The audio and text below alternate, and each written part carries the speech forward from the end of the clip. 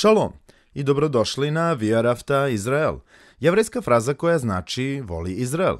Nadamo se da ćete ostati sa nama narednih 30 minuta dok naš učitelj dr. Baruh deli svoje ekspozicijno naučavanje iz Biblije. Dr. Baruh je glavni profesor na Zera Avram institutu baziran u Izraelu. Iako su svi kursevi poučavani na jevrejskom jeziku, dr. Baruh je srećan što ovu nedeljnu lekciju može da podeli sa vama na vašem jeziku. Da bi saznali više o našem radu, posetite nas na naš web sajt lavizrael.org. Da, jedna reč lavizrael.org. A sada, evo doktora Baruha sa današnjom lekcijom. Prošle nedelje smo saznali da je brak veoma važan živome Bogu. I razgovarali smo o tome kako brak ne bi trebalo okončati iz bilo kog razloga. U stvari, biblijski gledano, otkrivamo da postoji samo jedan razlog. Iako bi se to moglo dogoditi, govorim naravno, naravno u vezi preljube, to ne znači da brak mora da se završi. Uvek postoji način za rešenje. Uvek ima isceljenje, uvek postoji čudo. Zašto? Pa ono što ćemo danas naučiti je ovo. Da sa Bogom sve stvari su moguće. Uzmite svoju Bibliju i pogledajte sa mnom knjigu Evanđelja po Marku, deseto poglavlje. Knjiga Evanđelja po Marku, deseto poglavlje. Jedna od stvari koja se obično stvara iz braka su deca. I jedna od stvari koju roditelji trebaju da se zapitaju je ovo. Da li zaista volim svoju decu? Iako je odgovor da i želim najbolje moje deci, želim da učinim sve što je potrebno da im pružim e, pobožan dom, tada će e, oni biti spremni da se počine zakonima bračnog saveza. Čak i ako je teško, čak i ako je neprijatno, čak i ako mislite da pre svega zaslužujete nešto bolje. Moj savet vama je da ne razmišljate o onome što zaslužujete, već o tome šta trebate činiti, a rezultate prepustite Bogu. U pasusu koji ćemo pogledati, uzmite svoju Bibliju i pogledajte tamo Evanđelje po Marku, deseto poglavlje. Tu vidimo odmah nakon razgovora o braku i razvodu, postoji e, poučavanje o deci. Primetite šta kaže, čitam e, Evanđelje po Marku 10. glava 13. stih, on govori onima koga, koje su doveli k njemu, e, to jest decu, kako bi mogao da ih dotakne, a dodirivanje je zapravo e, za blagoslov. Sada su ljudi doveli decu, ali vidjet ćemo za nekoliko minuta e, dokaz da su deca želela da dođu do Mesije. Ona su želela da dođu pred Ješuom i to ćemo dokazati za neki trenutak. Ali vidjet ćemo da je bilo onih koji su sprečavali decu da mu dođu. Verujem da je poruka ovde sledeća. Ako mi ne živimo pobožno, ako mi ne razvijamo uh, naš brak na način koji Bogu je ugodan, taj brak koji ne ispunjava Božje očekivanja može biti uh, prepreka deci da dođu do Mesije i razumevanje i da razumeju njegovu, njegovu istinu i dobiju blagoslov u svojim životima. Još jednom 13. stih pogledajmo. I e, doveli su mu decu da bi mogao da ih dotakne. Ali učenici su ih e, prekoravali. Sad zanimljivo je, bilo je dece koje su želela da dođu do Mesije, a učenici od svih ljudi su oni prekoravali decu da ne dođu. Ali ono što je ovde značajno je odgovor e, Mesije Ješuje. U 14. stihu vidimo, ali e, videći, Ješua videći ovo, nešto se dešava. Kaže doslovno i želimo ovdje da naglasimo ove reči, doslovno kaže, on se naljutio i to je, u, e, ta reč je korišćena u intenzivnom obliku, to jest bez, sad shvatamo da e, neke Biblije kažu da nije bio zadovoljan, to je previše meko. Zapravo on se naljutio i zašto je ta reč tamo? Da bi nam naglasilo koliko su deca važna Bogu.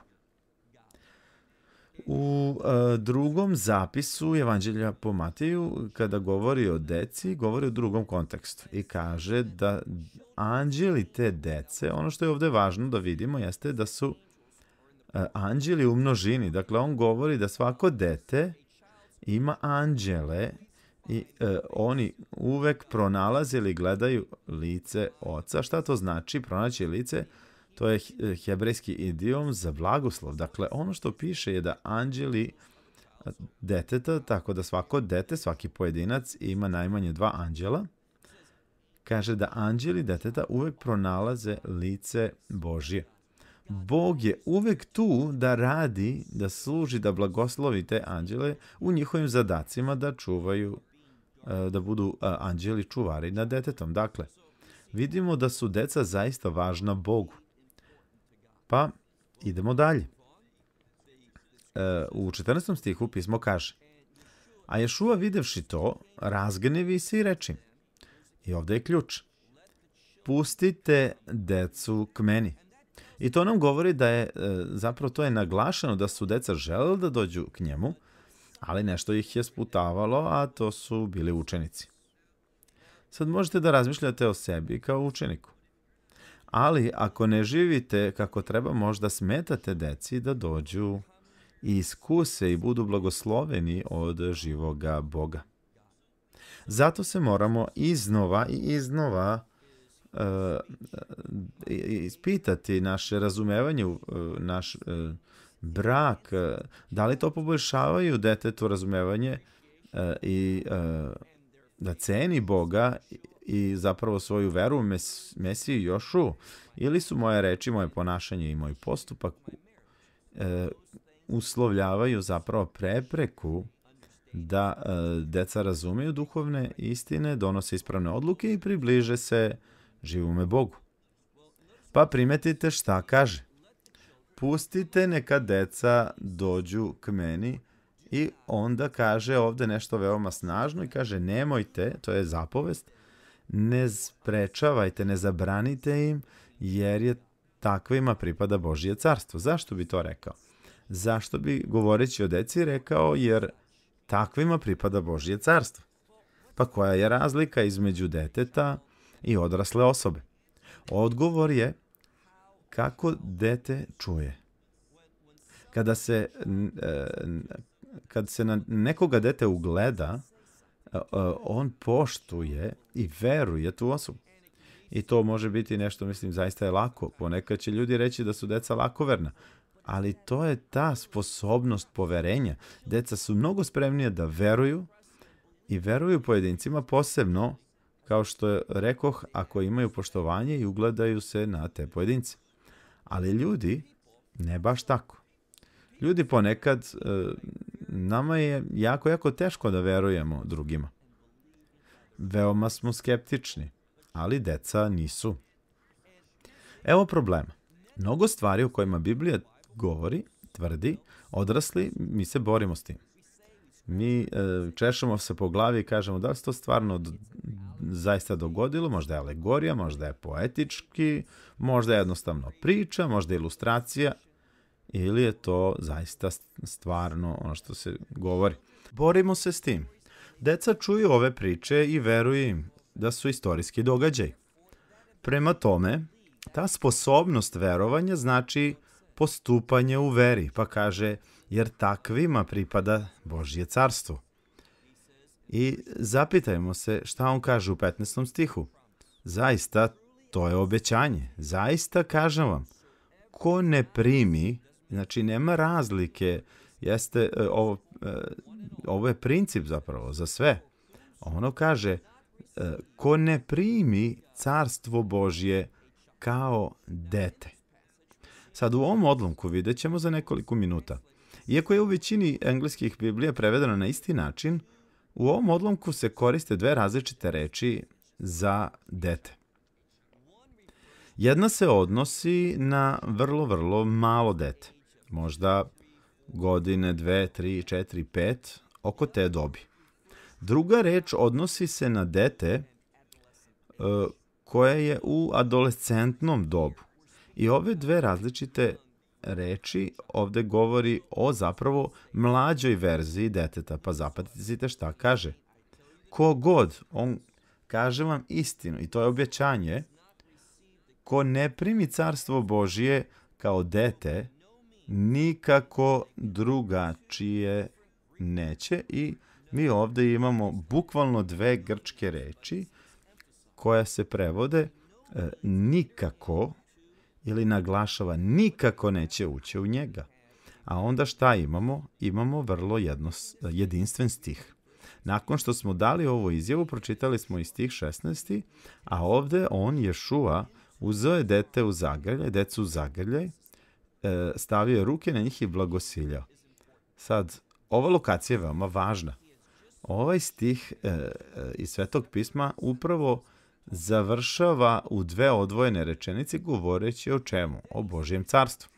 A zatim govori o tome kako podiže decu, grli ih i blagosilje. Kakav je odnos između ove dve stvari? Pa daje nam primjer o čemu se za, zapravo radi u Božjem carstvu. Carstvo Božije je Bog onaj koji podiže decu i donosi e, ih u svoje ruke, zapravo grli ih i šta blagosilja. Pitanje je ovo. Da li verujete, da li zaista verujete da je carstvo Božje tamo gde ćete lično iskusiti Božju ljubav? Ako to verujete, vaš život će biti radikalno promenjen. Mnogi ljudi nisu sigurni u Božje carstvo. Mnogi ljudi kažu, e, da, verujem u Mesiju Šu, da, ja sam njegov učenik, da, idem na bogosluženja jednom, dva puta, e, bilo koje nedelje. Mnogi od tih ljudi još uvek nisu sigurni o stvarnosti ovog carstva. A oni jednostavno, ako postoje carstvo, oni naravno žele da budu tamo.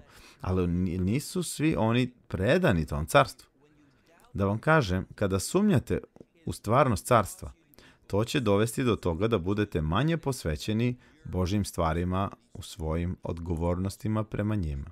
Sad zastanimo za trenutak e, i setimo se nečega. Ovo deseto poglavlje je započeo sa razgovorom i upozorenjem da se ne razvodimo. Drugim rečima, isticao je značaj braka i brak je savez i svrha, i o tome smo na, e, razgovarali prošle nedelje, svrha svakog saveza u Bibliji je da bude instrument koji pokazuje Božiju slavu. Ako verujete u stvarnost carstva, ako verujete da ćete stati pred Boga u njegovom carstvu, to će radikalno uticati na to kako živite i ponašate se u ovom dobu. Posebno, posebno u vašim zahtevim, e, zavetnim odgovornostima koje su u pogledu braka. Šta se sad dešava? Pređimo na drugi odeljak e, danas i e, ovo je isto pitanje ovde. Ono što vidimo je događaj koji se dogodio, istorijski događaj koji ilustruje i uči nas istoj istini koju je spomenuo i podučavao sa ovim primjerom dece. Pređimo na 17. stih. Dok je izlazio na put, jedan je potrčao, kleknuo pred njim i postavio mu je pitanje. Sad je veoma značajno ono što ćemo da čitamo u nekoliko minuta. Ovaj koji je došao, šta radi? Sveto pismo kaže kleči. To je kao stav molitve. Dakle, ovaj koji je došao, trčeći za Mesijom Jošuom i klekao pred njim, primetite šta kaže. On postavlja pitanje, ovo je pitanje, kaže, dobri učitelj. Šta trebam da učinim da bi nasledio večni život? Šta je ovde naglašeno? Pa dve stvari. Jedno je ono što moram ja učiniti. Akcenat je na ja, ono što moram učiniti. Druga stvar, a ovo je ono što Ješua upravo prvo uzima, primetite kako se obraća Ješua i kaže dobri učitelju.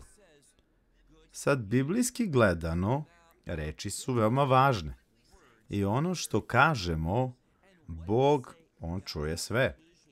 Zato ovaj pojedinac kaže i ovaj je uobičajni idiom načina koji bi neki odgovorio na rabina u to doba, to jest dobri učitelj. Ali problem je u ovome, obratite pažnju na to šta mu Mesija kaže u 18. stihu. Još u ovomu odgovara i kaže Zašto me nazivaš dobrim? Jer ne postoji niko ko je dobar osim Boga. Veoma je važno da razumemo Mesijinu nameru. Sad bi neki ljudi želeli da poverujete da što ono što se ovde događa jeste da ga Mesija gura od sebe i koristi izraz ovaj mladi e, pojedinac koristi izraz koji ima veze sa dobrima, Mesija kaže samo je Bog dobar. Mislim, samo je On dobar. Pa zašto me nazivaš dobrim? Mesija ne, se ne, ne uzvraća i kaže ne zovi me dobrim. Zaspravo sasvim suprotno. On ga izaziva. Vidite, to koristimo vrlo lako, a on želi da kaže da li saista veruješ da sam dobar, jer je Bog jedini on dobar. Veruješ li da sam ja Bog u telu? Zašto bi on tako odgovorio? Pa u čemu je pitanje?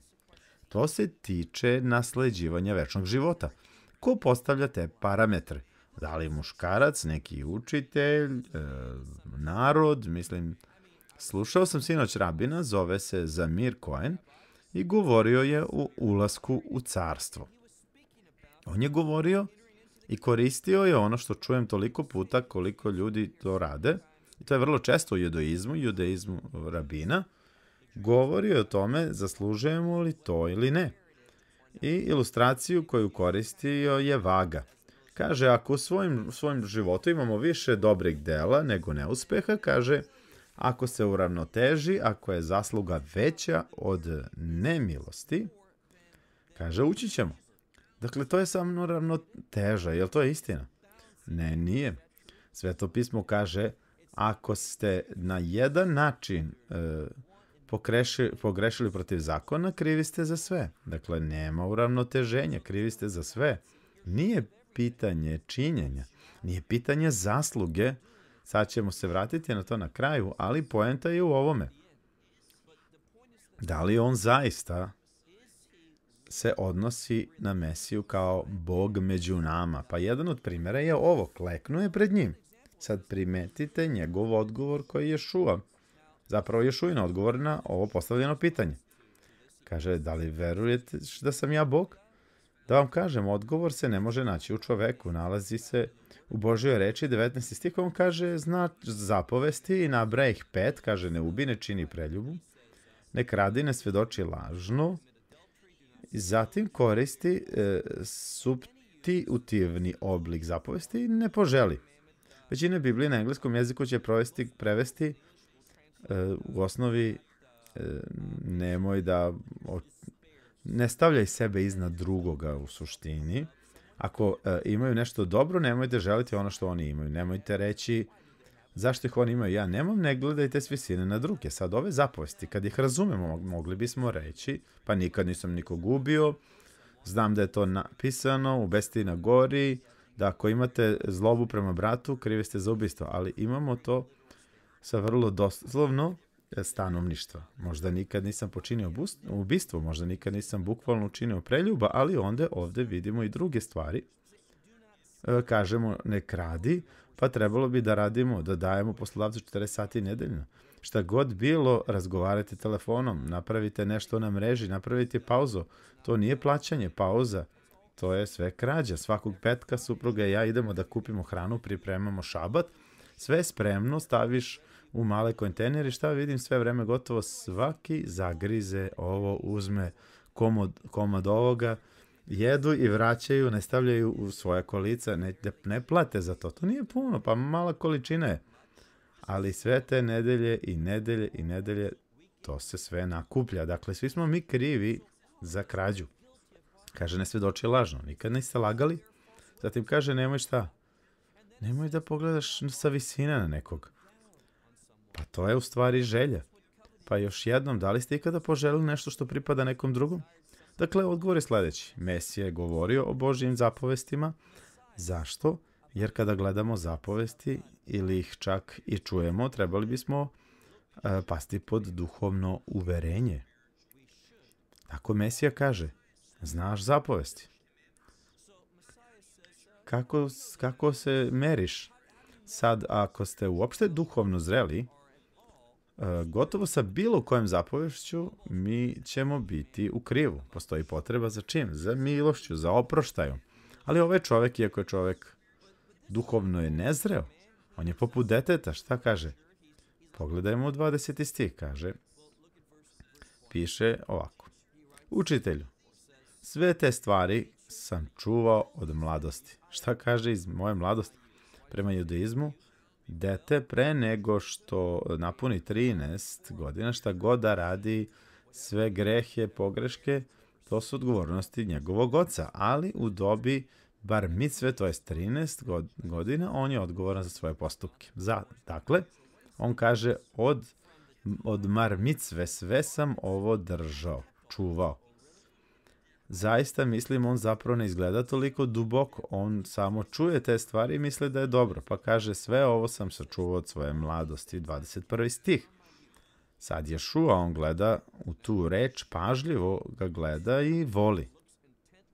Sad ovo mislim da je gotovo kao, mogu se setiti svog sina kad je bio vrlo, vrlo mali, Iz, uh, izlazio sam da radim nešto, nešto sa čim dete ne bi trebalo da ovaj se igra, što je opasno.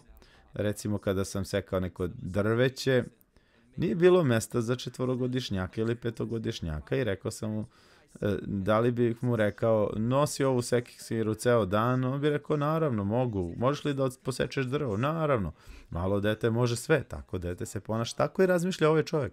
Nije to duhovno razumeo, bio je nezreo i zato je smatrao da je sve držao zapovesti. Onda šta je uradio Ješua? Pa nije iz, uh, iz očaja, nije to zbog nedostatka ljubavi. Sasvim suprotno. Ono što ćemo videti o Mesiji je ovo. Voleći nas, on otkriva ona područja u našem životu koja se pojavljaju vrlo kratko, to jest koja, gde smo krivi. Sad mogu da izvršim ovo ili ovu zapovest, ali zapravo ja sam kriv za sve i nedostojan. Šta je Mesija sposobno da učini? Ako mu se obratimo u molitvi, on će manifestovati, pokazati ta područja u našem životu gde Bog e, nije zadovoljan. Ne da je Bog ljud na nas, da nas mrzi, već zapravo voli i želi da nas nauči da stvari ispravimo, da se promenimo, da bismo mogli da, da se menjamo, pa šta se onda dešava? 21. stih, pogledamo ponovo, Ješua ga pogleda, zavole ga i reče mu, još ti jedno nedostaje. Sad možete da zamislite da ovaj mladić čuje samo jedno, wow, mogu to, mogu da rešim ovo sve mogu da rešim i verovatno je razmišljao o tome koliko je blizu. Samo još jedna stvar o kojoj treba da se brinem, mogo je da e, proveri tu listu i sve bi bilo u redu. Kaže jedno, još jedno nedostaje. Idi i ono što imaš prodaj i daj siromašnim. Ha, izgleda jako lako. Sve što mora je da proda sve što ima i da siromašnim. A onda kaže, Primetite ishod, kaže, a onda ćeš imati šta? Blago na nebu. Pitanje je ovo. Kada pogledate blago na nebu, dozvolite mi da postavim pitanje koliko dugo traju blaga na nebu? Odgovor je za večnost. Koliko traje vaše najcenjenije uh, ono što posjedujete? Pa imamo neke prijatelje i pre oko 27 godina e, kupili su automobil koji su volili, bio je vrlo, vrlo jako lep Mercedes i oni su volili taj auto, bio je sjajan automobil za njih. Imali su, još uvek, zapravo imaju, bio sam u posjeti roditeljima e, i e, ima dosta stvari koje nisu dobre e, posle 20 godina, ne vredi popravljati, sada jednostavno žele da ga poklone. Zašto? Zato što je istrošen zato što je izgubio svoju vrednost nakon 20 godina. I sve bilo 20, 50, 100 godina, šta god, na kraju se istroši. Na kraju gubi na vrednosti. Sa nebeskim stvarima nije tako. Oni traju zauvek. Dakle, ako se u ovom dobu odričemo nečega kako bismo imali nešto za celu večnost, mislim, vrlo, vrlo prostodušna osoba bi to rado prihvatila.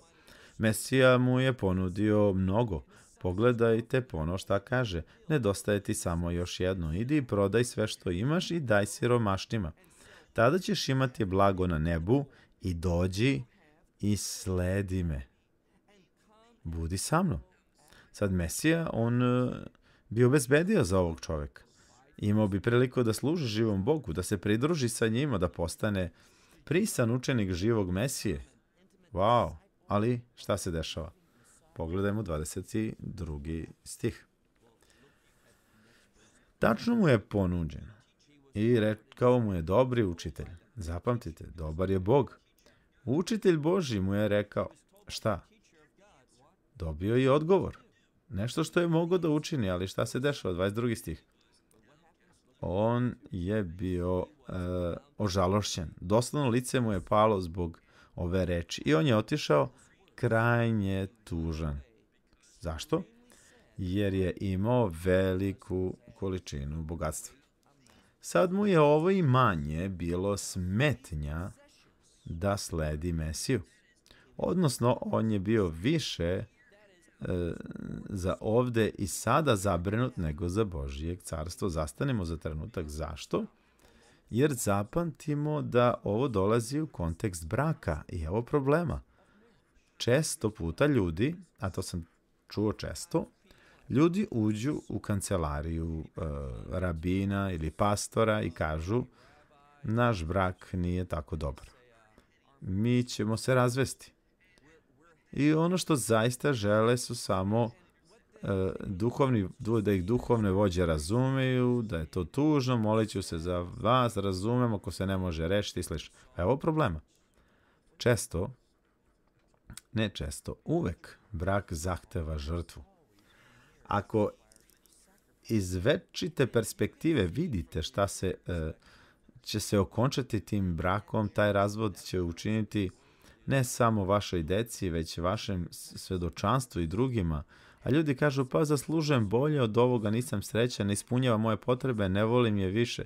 Sve ovo, ove stvari, su kratkovidost. Možda ćete biti pozvani e, da trpite teškoće kroz taj brak. To je život. Ali kad to učinite, Bog će krenuti na, da deluje. Može doneti promjenu, ali čak i ako ne, razmislite o nagradi koju ćete dobiti gde? U Carstvu nebeskom. Ali ako naglasite kratkovidnost ovog doba, moram da budem e, srećan, želim da se moje potrebe zadovolje, želim sve ove stvari.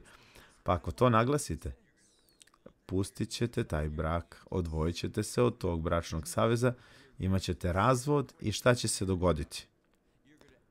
Pa, kad staneš pred Boga, nije da te on ne voli, nije da će to okončati tvoju priliku da budeš njegovo dete, naravno da ne, da ne.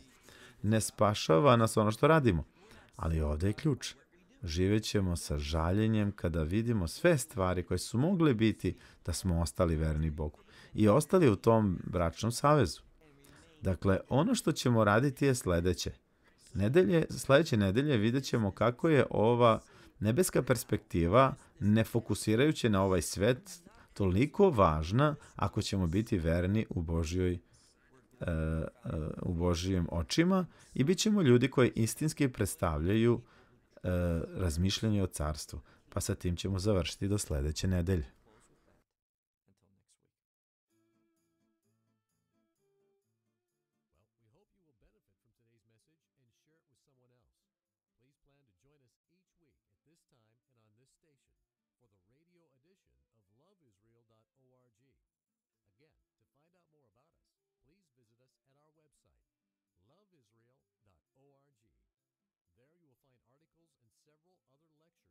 teacher, Dr. Baruch. These teachings are in video form. You may download them or watch them in streaming video. Until next week, may the Lord bless you in our Messiah Yeshua, that is Jesus, as you walk with him.